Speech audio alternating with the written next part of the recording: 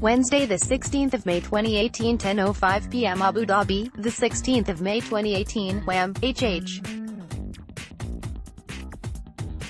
Sheikh Sultan bin Zayed Al Nahyan, the president's representative, has offered heartfelt greetings and best wishes to President His Highness Sheikh Khalifa bin Zayed Al Nahyan on the advent of the holy month of Ramadan.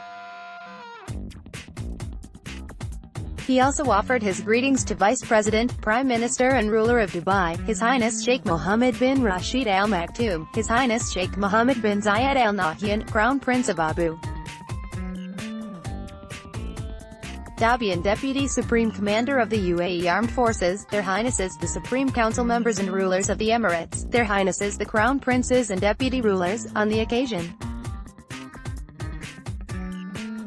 WAM! Hassan Bashir